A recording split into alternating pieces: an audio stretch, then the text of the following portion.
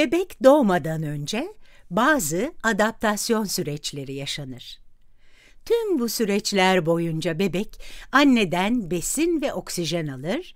Bu besinleri ve oksijeni başarılı bir şekilde vücudunda ihtiyaç olan yerlere gönderir. Evet, doğumdan önce olan biteni görmemiz için tek bir şekil çizdim. Yani bunların hepsi bebek hala rahimdeyken oluyor. Peki doğumdan önce neler gözlemliyoruz? Şurada gördüğünüz yapı plasenta. Yani kısmen anne, kısmen fetüs. Annenin kanı plasentada şurada birikiyor. Bebek de bu kan havuzuna küçük kılcal damarlarını yapıştırıyor. Morumsu renkteki kan içeri giriyor, kırmızımsı kan dışarı çıkıyor. Burada çizmeye çalıştığım şey aslında oksijenin alınması. Kırmızımsı olan kansa buradaki damara katılıyor. İşte burası yüzümüzün gülümseyen kısmı. Bu da göbek bağı toplar damarımız. Bu damar oksijeni ve kanı karaciğer bölgesine taşıyacak. İsmini de yazalım. Göbek bağı toplar damarı. Bahsettiğim adaptasyonların ilki buydu. Nerede olduğumuzu tam olarak anlamak için şuraya adaptasyona uğrayan unsurları madde madde yazacağım. Evet, adaptasyonlar. İlki göbek bağı toplar damarı. Kan göbek bağı toplar damarına girdiğinde dallanma noktasıyla karşılaşıyor. Gördüğünüz gibi ya sağa ya da sola gitmek zorunda. Soldan giderse karaciğere girecek. İşte şu yol karaciğere giden yol. Bu kanın diğer tarafa gitmesi biraz vakit alacak çünkü karaciğerdeki tüm kılcalları gezmek zorunda. Aslında burada kestirme bir yol var. Hemen o kestirmeyi daire içine alıyoruz. Buna ductus venosus deniyor. Ductus venosus. Evet, ductus venosus.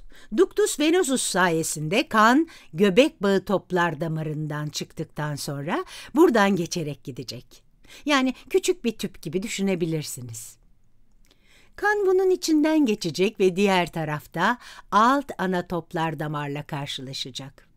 İşte burası alt ana toplar damar. Alt ana toplar damar sağ ve sol bacaktan kan toplayan geniş bir damardır. Alt ana toplar damar göbek bağı damarından gelen ve oksijeni bol olan kanla karşılaşıyor.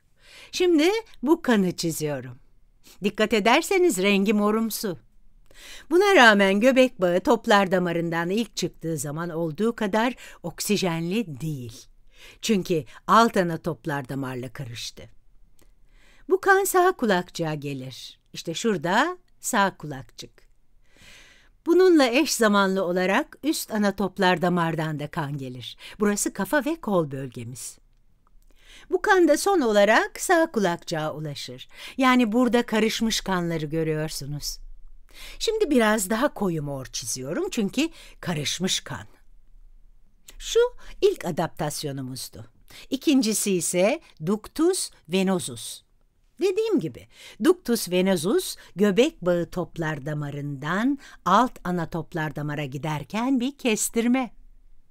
Kan şimdi sağ kulakçıkta. Yani birçok seçeneği var. Birincisi sağ karıncağa inebilir. Kanın bir kısmı bunu yapıyor. Yani hemen sağ karıncağa iniyor. Sağ karıncağa inerse kan sıkışır ve akciğer atar damarına gider. İşte şurada akciğer atardamarını görüyorsunuz. Akciğer atardamarının akciğerin iki tarafında da dalları olduğunu biliyoruz. Yani kanın bir kısmı akciğerin sağına, bir kısmı da soluna ulaşır. Unutmayın, kan akciğerlere yaklaştığında akciğerin içinde ne olduğunu düşünmek zorundayız. O zaman akciğerin içini hemen çizeyim. Aslında içi hava ile dolu olmayan hava keseleri var çünkü fetüs rahimdeyken bu keseler sıvıyla doludur. Bunların çevresinden geçen küçük kan damarları var. Şurası küçük atardamar olsun. Keselerin sıvıyla dolu olması demek, oksijenin fazla olmaması demek. Dolayısıyla burada hipoksik pulmoner vezokonstriksiyon dediğimiz bir süreç gerçekleşiyor. Bu da alveolün küçük atardamarın sıkışmasına sebep olması demek. Küçük atardamarın şu şekilde düz kası var. Oksijen olmadığı için alveol bu küçük atardamarın sıkışmasına sebep olacak. Yani şunun gibi görünecek. Böylelikle küçük atardamarın direnci artacak. Bu süreç milyonlarca alveolde milyonlarca kez gerçekleşirse akciğerin tamamında büyük bir direnç oluşacak. Büyük direnç varsa bundan çıkaracağımız birkaç şey var. İlki şurada belirttiğim akciğer atar damarındaki basıncın çok yükseleceği. Evet, burada basınç yükselecek. Bunun sebebi ise karşı çıkılması gereken yüksek direnç. Evet, akciğer atar damarının nereden geldiğini bir düşünelim şimdi. Ya, sağ karıncıktan gelmişti. Burada kan akışı olması için sağ karıncıkta yüksek basınç olmalı. Argümana tersten bakıp şunu da diyebilirim. Sağ karıncıkta yüksek basınç varsa, sağ kulakçıkta da yüksek basınç olmalı. Kalbin sağ tarafında yüksek basınç olmasının sebebi akciğerlerde yüksek direnç olmasıdır. Yani bu basınçlar özellikle de sağ kulakçıktaki basınç o kadar yükseliyor ki sol kulakçıktaki basınçtan bile yüksek oluyor. Yani sağ kulakçıktan başlayan ve oval delikten geçen bir kan akışı var. İşte şurası bir kulakçıktan diğerine kan akışını sağlayan oval delik. Buna foramen ovale deniyor. Kan bir yerden bir yere gidebileceği için kanın bir kısmı sağ karıncağa akar. Bir kısmı ise buraya ulaşır. Aslında bu çok faydalı bir aşama çünkü kan başka bir yerden geçerken aynı zamanda akciğer damarlarından çok fazla kan geri gelmiyor. Bunun sebebi yine direnç sebebiyle kanın akciğerde dolaşımının zor olması. Akciğerdeki damarlardan biraz kan geliyor. Sağ kulakçıktan da bir miktar kan geliyor. Sol kulakçıktan sol karıncaya kan akışı gerçekleşecek. Aorta ulaştığında ise sıkışacak. Sol karıncıktan gelen kan aortta sıkışıyor. Aortsa kanı aşağıya doğru dağıtıyor. Aort kanın nereye gittiğini göstermeden önce listeyi tamamladığımızdan emin olalım. Üçüncü adaptasyon foramen ovale, sağ kulakçıktan sol kulakçığa kan gönderen bölge. Aslında çizimde gösterdiğim ama adını söylemediğim dördüncü adaptasyonsa şuradaki küçük bir bağlantı noktası. Küçük bir damar. Bu nokta akciğer atar damarı ile aort arasında. Buna ductus arteriosus deniyor. Ductus arteriosus akciğer atar damarlarından aorta kan akışını sağlıyor. Peki kan neden bu yönden gitsin ki? Hatırlayın, akciğer atar damarında yüksek basınç vardı. Sebebi ise akciğerlerdeki yüksek dirençti. Bu yüksek basınç sebebiyle kan yüksek basınçtan alçak basıncın olduğu yere gider. Buradaki örnekte akciğer atar damarlarından aorta gider. Yani şu yönde bir kan akışı olur. Hemen küçük bir okla gösteriyorum. Evet, yani ductus arteriosus'ta diğer bir adaptasyon. Şimdiye kadar dört adaptasyonumuz oldu. Bu da aslında akciğer damarları yoluyla neden çok fazla kanın geriye dönmediğini açıklıyor. Çünkü akciğer atar damarına giden kanın çoğu sonra aorta gidiyor.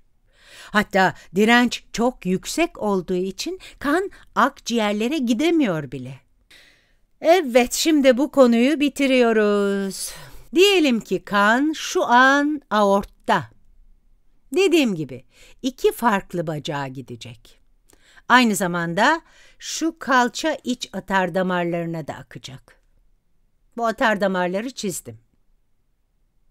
Tabii ki kalça iç atar damarlarının birçok dalı var. Fakat şimdi üzerinde durmak istediğim önemli dal işte şu. İşte şu anda çiziyorum. Hatta bunun için özel bir ismimiz bile var. Göbek bağı atar damarı. Bu damar kanı plasentaya ulaştırıyor. Peki neden plasentaya bu kadar çok kan gitsin ki? Aslında çok mantıklı bir soru. Mesela şurada idrar kesesine giden bir dal var. Başka yerlere giden dallar var. Hal böyleyken kan neden plasenta dalını veya göbek bağı atar damarını tercih ediyor? Neden bu kadar çok kan? Plasentanın çok zeki bir biçimde direnci çok düşüktür. Yani nasıl ki akciğerlerin direnci çok yüksekse ve kanı uzaklaştırıyorsa, plasentanın direnci düşüktür ve kanı kendine çeker. Bu bayağı şahane bir sistem. Beşinci adaptasyonumuzu da ekliyoruz. Evet, şu beş adaptasyonu görüyorsunuz. Göbek bağı toplar damarı, göbek bağı atar damarı, ductus venosus, foramen ovale ve ductus arteriosus. İşte beş önemli adaptasyon ve fetüste kanın nasıl dolaştığı.